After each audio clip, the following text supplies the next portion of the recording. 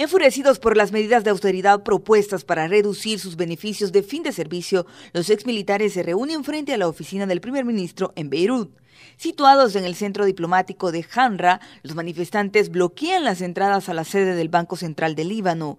El mayor general retirado, Sami Ramá, acusa a las autoridades de corrupción y dice que los veteranos no negociarán hasta que sepan que sus beneficios están a salvo. El gabinete ha estado discutiendo el presupuesto de austeridad de 2019 durante semanas y se reanudó una nueva ronda en la sede del gobierno el lunes por la mañana para finalizar el borrador antes de enviarlo al Un recorte propuesto a los salarios de los trabajadores del sector público ha llevado a los sindicatos, al personal militar retirado y los empleados del Banco Central a protestar y hacer huelgas en las últimas dos semanas.